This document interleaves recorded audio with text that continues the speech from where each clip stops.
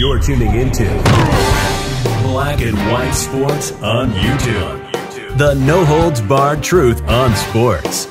The main event starts now. I am back. Rudrance for Black and White Sports. We got breaking news in here, and it is about an NFL Hall of Famer that has shown himself to be a pretty damn good college football coach. And I am talking about former NFL defensive back, one of the GOATs of all time. Deion Sanders said there should be a separate wing for real Hall of Famers, guys that you just think of and you're immediately like, oh, yeah, they were absolutely one of the best at their positions. And Deion Sanders was one of the best cornerbacks the history of football has ever seen. Now he is the head football coach for the Colorado Buffaloes. Personally speaking, can't wait to see what this season looks like. But if you have not been following this, Deion Sanders has had some health problems going back to Jackson State. He had a couple of toes amputated. He had a surgery for blood clots. And now Deion Sanders is going to miss Media Day. Why?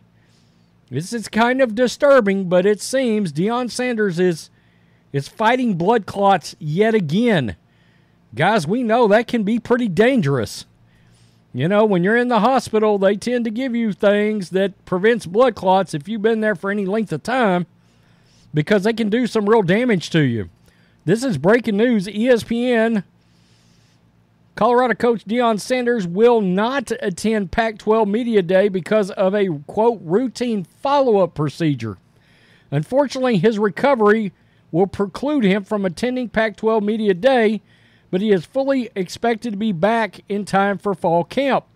The school said Wednesday in a statement Everyone at CU wishes Coach a fast recovery, and we look forward to seeing him. According to a statement, Colorado defensive coordinator Charles Kelly will represent the school Friday at Pac 12 Media Day along with quarterback Shedeur Sanders and cornerback receiver Travis Hunter.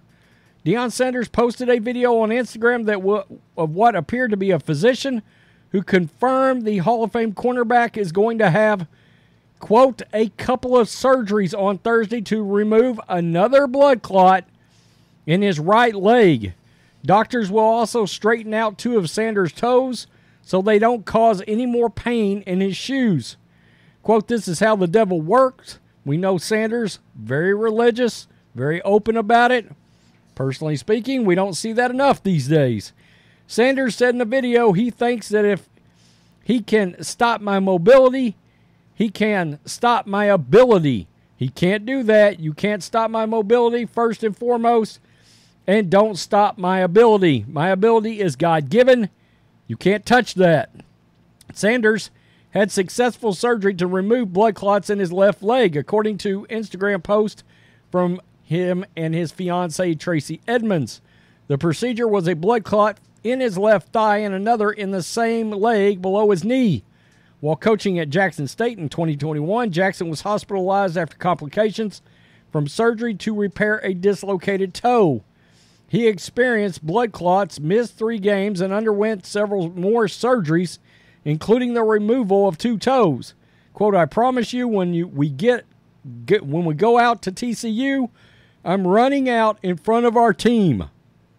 I promise you that." And nobody's doubting the toughness of Deion Sanders. If I remember correctly, he had some issues with, and I could be wrong, but I'm pretty sure he had some issues with turf toe towards the end of his career, and it may have ultimately sort of ended it for. And of course, he came back, he played for the Ravens, this, that, and the other, but uh, he had some issues with his toes back in the day, if I remember correctly. Deion, one of the all time, and we forget about this when we talk about Deion, two sport athlete, Cincinnati Reds, Major League Baseball. Deion was a good baseball player back in the day. This wasn't a guy that was a cup of coffee baseball player. He was a legitimate good baseball player for a long time. And um, of course, the NFL was his main jam, and he absolutely excelled. He is what you call a shutdown corner back in the day, picked off a lot of balls and high stepped a lot of touchdowns. I cannot wait to see what Deion does with the Colorado Buffaloes. And I, I wonder, he's talked about staying in college. I still think eventually, if his health permits, and Deion would probably be like, no, no, I'm not going to the NFL. But one of these days, the Dallas Cowboys will need a head football coach. All right. And if Deion's got four, five, six, seven years of successful college football under his belt, Jerry Jerry's going to start looking around. I'm just saying, may never happen, but I wouldn't be shocked if it did. Tell me what you think, black and white sports supporters. Prayers up for Deion Sanders. Peace. I'm out. Till next time. Thanks for watching the show. Be sure to like, comment, and subscribe.